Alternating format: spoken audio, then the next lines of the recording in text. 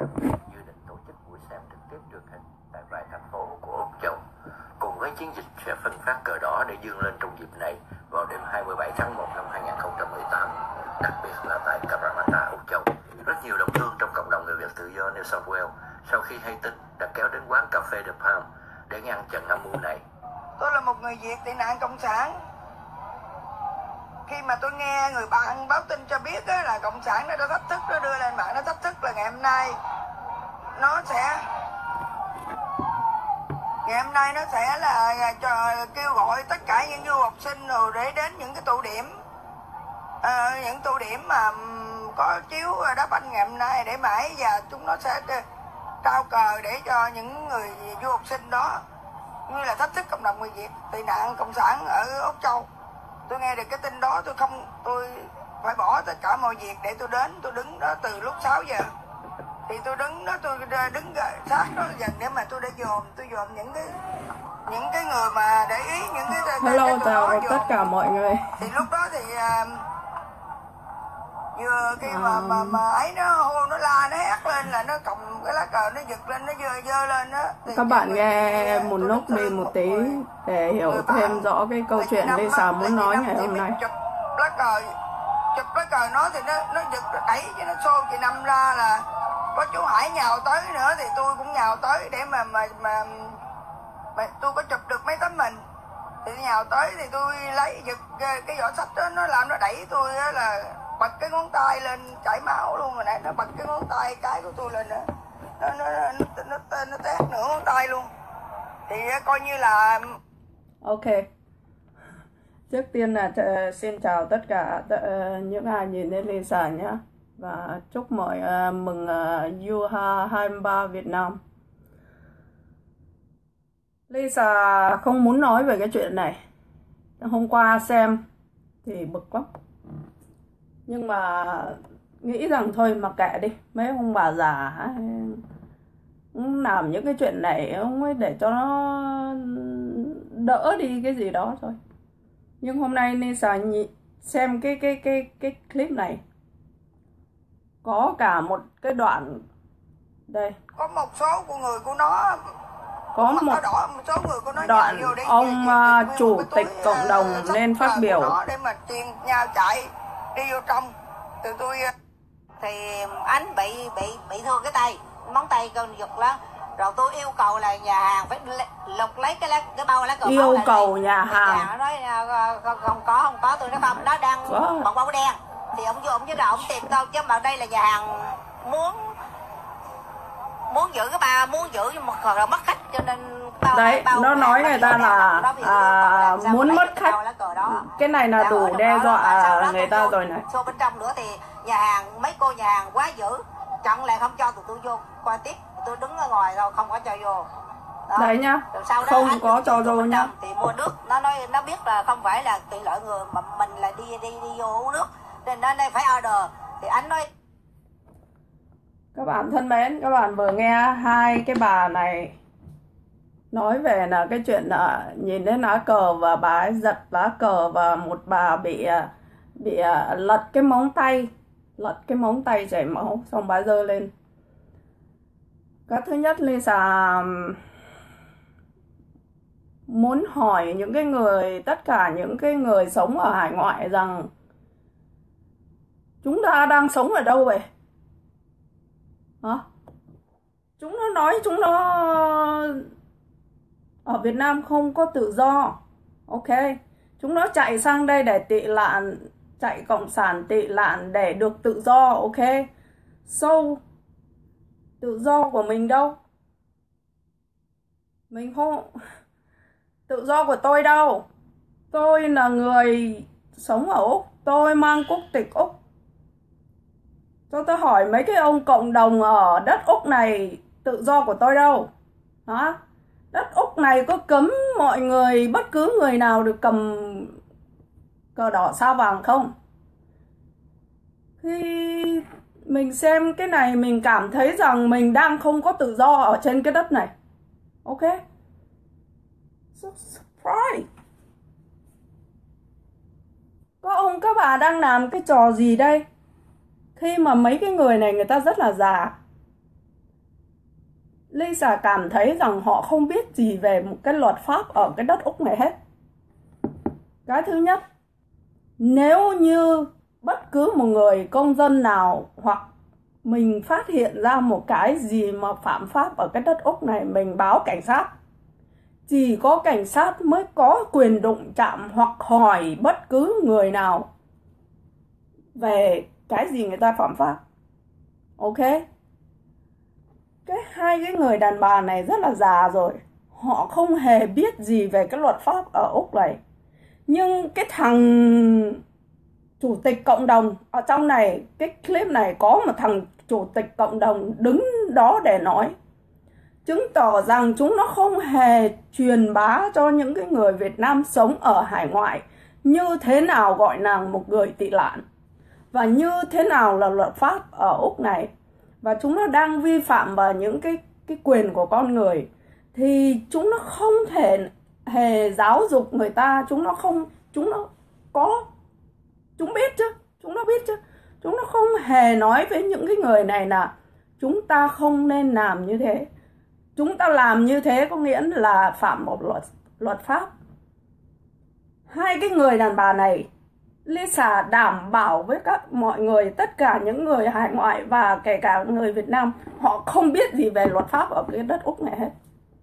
Lisa không phải là giỏi, Lisa không phải là luật sư, nhưng Lisa biết rằng là một người công nhân ở dân ở cái đất Úc này mình phải biết rằng cái gì mình làm được và cái gì mình không được quyền làm. Ok?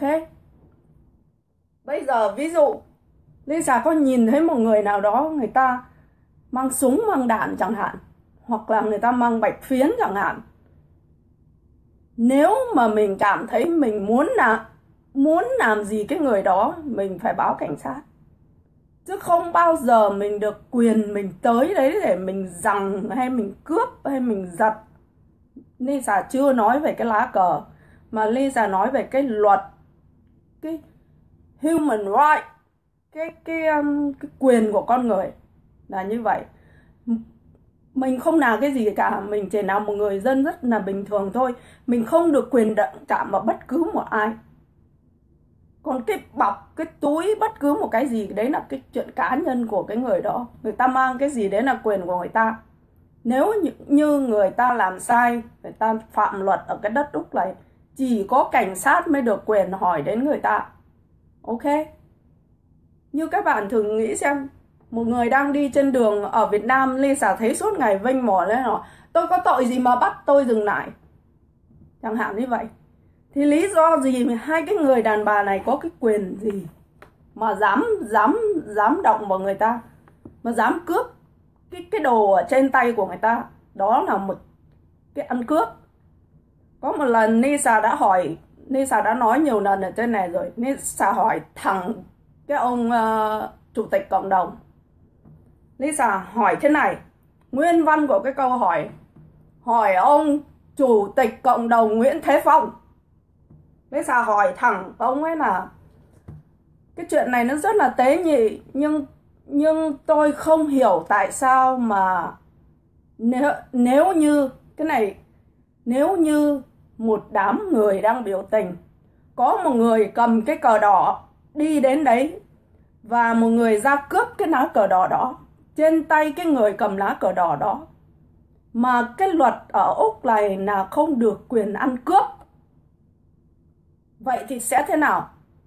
Lisa muốn biết cái luật từ ở cái người chủ tịch cộng đồng đó nói như thế nào?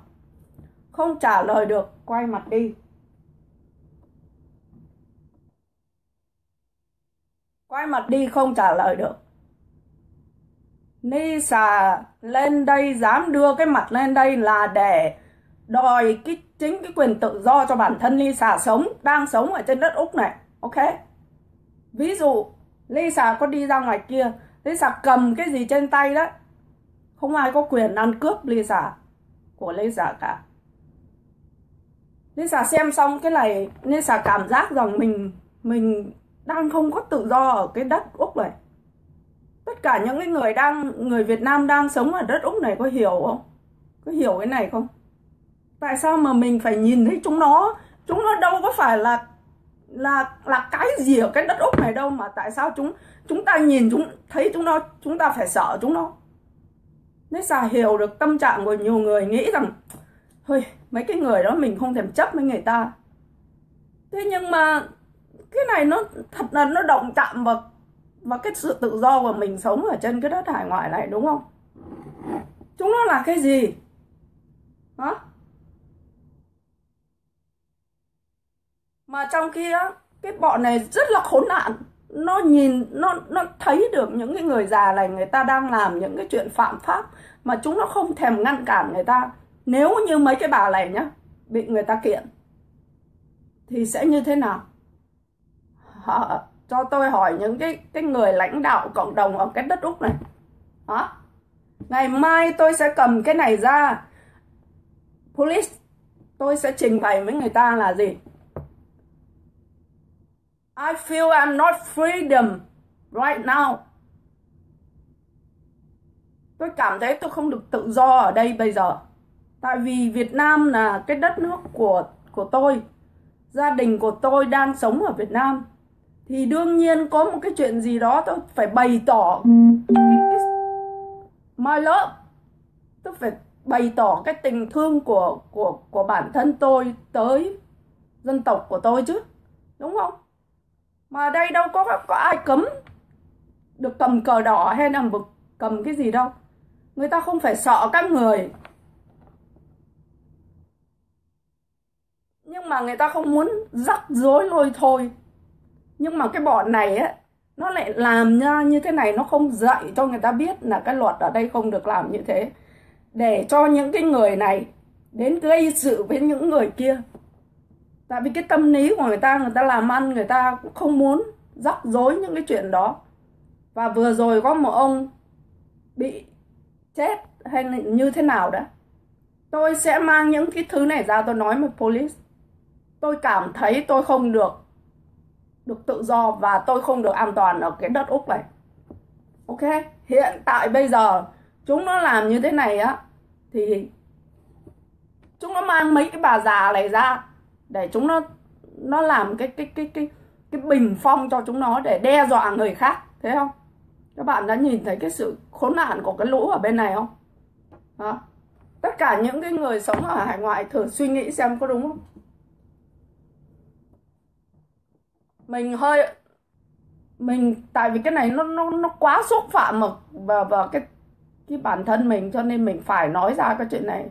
Mình không thể nào mình mình im lặng được mình là con người như vậy. Mình sẽ tại Lisa nói tại sao Lisa có mặt ở cái đất này? Cũng chỉ vì cuộc sống.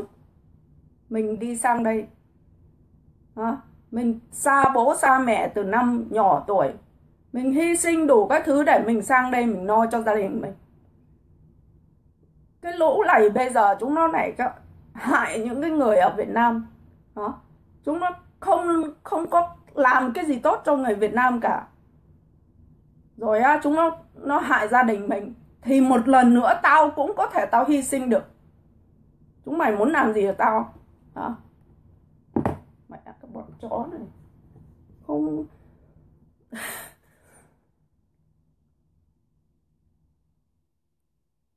Thật cơ. Đúng rồi, hãy thương cho những người Việt hải ngoại. Đang ngày đêm.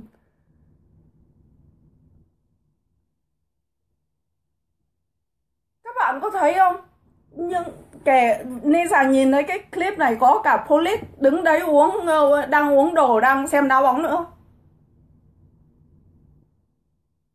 Nisa nghĩ rằng cái bọc kia, cái bọc đồ kia không hiểu tại sao nó lấy được?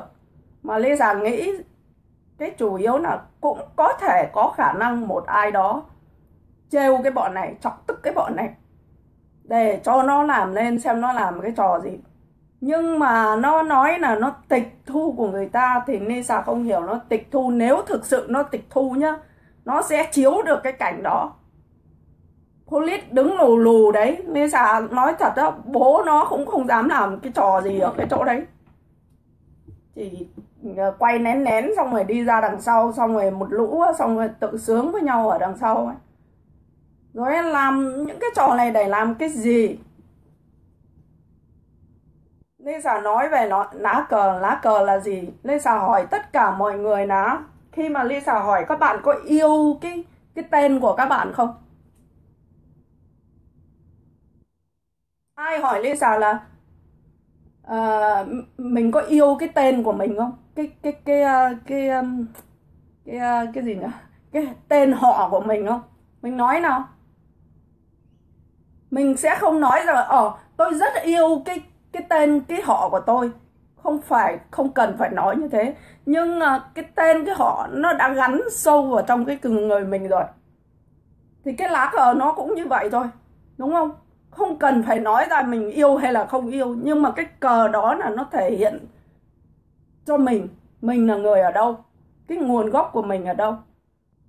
Nếu như Việt Nam bây giờ đang là cờ vàng lãnh đạo, Lisa cũng vẫn cứ tôn trọng cái lá cờ vàng, đúng không? Tại nó là thực tế. Mà hiện tại bây giờ người Việt Nam cứ nói đến cờ đỏ sao vàng thì người ta biết ngay là đây là người Việt Nam rồi, đúng không? Tại sao mà cái bọn này nó nó dùng những cái người này ra để nó làm những cái trò này để nó nó giống như nó nó làm cái bàn đạp cho cho cái cái bọn khốn nạn này đi lừa đảo người ta đấy. Những cái người sống ở hải ngoại những cái người mà có vẻ như là chống cộng ấy, thử ngồi thử suy nghĩ xem có đúng không? Nếu thực sự chúng nó bảo vệ cho chính cái cộng đồng của của chúng nó đó thì chúng nó phải nói cho người ta biết là cái luật pháp này cái nào làm được và cái nào không làm được. Những cái bà này, bà già này, bà đâu có biết cái gì đâu, đúng không? Bà bà cứ ra ấy, bà bà bà làm những cái chuyện như thế. Thì nhiều người người ta cũng chẳng thèm chấp với cái bà làm gì. Nhưng nếu Lisa nói thật, vô phúc cho bà bà phải gặp phải Lisa đó thì nó, cái chuyện nó khác rồi. Nó không phải đơn giản như thế này đâu. Nếu chẳng may mà Lisa ngày hôm đó Lisa có ở đấy nhá nên xảo nói thật đấy. Nó không đơn giản, chuyện nó không đơn giản như vậy đâu. Đúng không? Mà nếu mà thật sự có người nào bị mất cái bọc đấy, mà muốn gì đấy, nên làm mới lì sao ok. Cái luật ở đây không cho phép những cái người này làm những cái chuyện như này, như thế này là đang đang đang đang xúc phạm vào cái tự do cái cái cái cái nhân quyền của người khác. Các người nói các người chạy vì tự vì cộng sản không có tự do. Các chạy, người chạy sang cái xứ này các người tị nạn như thế nào gọi là một người tị nạn các người cũng chính bản thân các người cũng chưa hiểu. Đúng không? Tị nạn úc nó cho các người vào đây nhân đạo. Các người chạy vào cái đất này được vào đây nhân đạo nó khác với lại những cái người đi bảo lãnh qua đây. Hiểu không? Phải tìm hiểu đi chứ, đâu có phải ai ai ai là người Việt Nam đi sang đây cũng là người tị nạn đâu.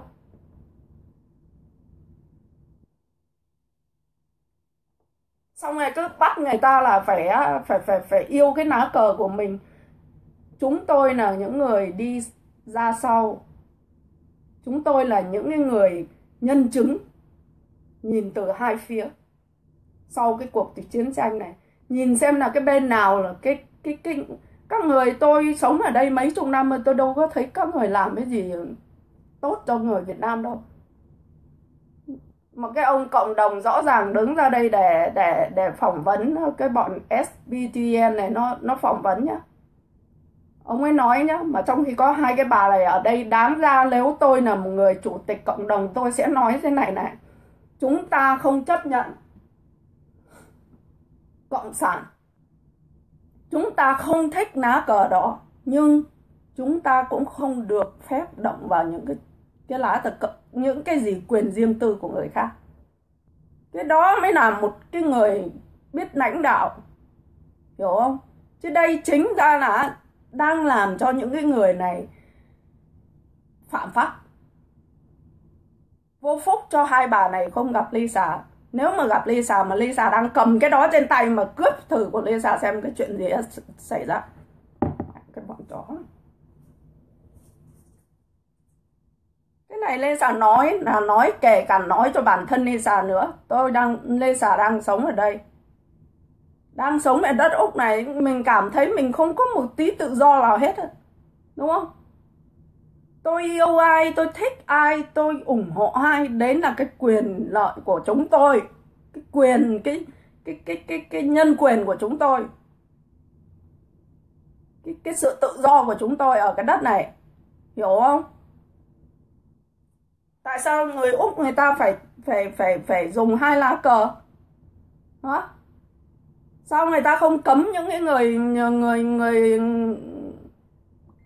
cấm những cái người uh, thổ dân ở đây là không được mang cái cờ đấy đi. Đó.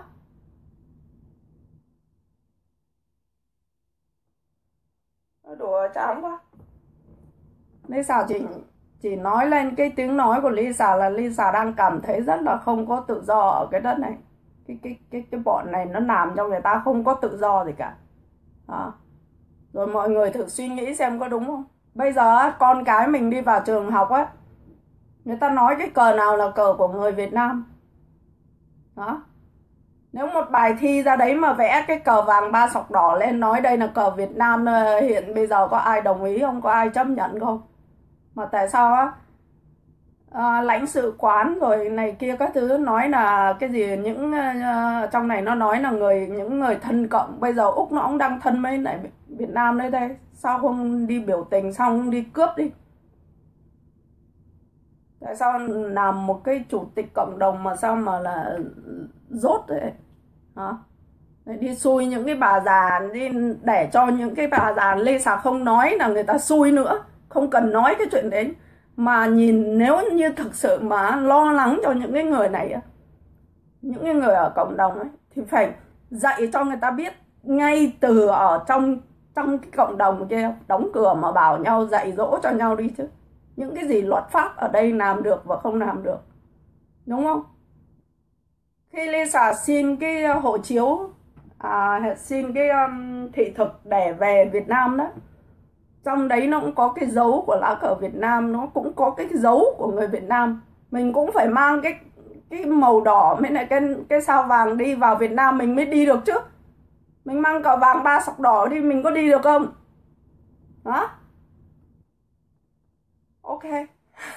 Bây giờ nghe bức xúc quá nên lên đây nói với mọi người tâm sự mọi người vài câu.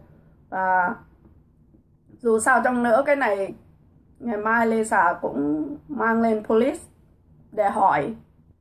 Hỏi không phải là lê xà cái gì hết, tại vì mình sống ở cái xứ này, mình phải học, mình phải tìm hiểu.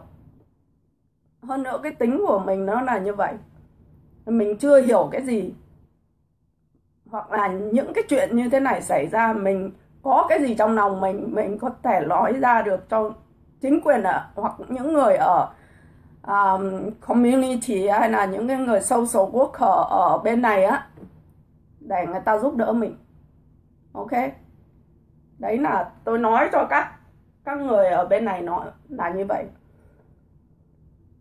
Tại vì các người luôn luôn bô bô, cái mồm ra nói là Việt Nam không có tự do, không có này kia. Thế nhưng mà thực tự sự ở bên này các người đâu có để ai tự do đâu. Các người ngăn chặn người ta đủ thứ. Việt Nam đá bóng ầm ầm lên, cờ đỏ sao vàng ầm ầm lên. Sao sao các người không đề nghị với này ờ, cái cái cái khu đấy là không cho, không không cho mọi người mở bóng đá lên xem tại vì nhiều cờ đỏ quá. Tại sao không làm như vậy? Đi ăn cướp. Lisa nghĩ cái bọn này nó, nó, nó một là có người nào đó chọc tức nó chứ nó không có tịch thu được của ai ấy. nó tịch thu nó chết mẹ nó. Mà người nào nếu mà mất cái túi đó mà báo cảnh sát đi.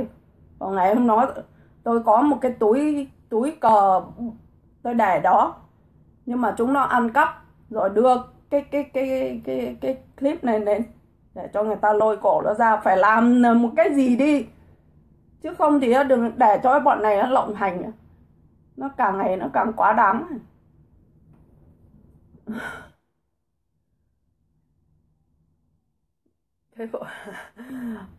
Ok.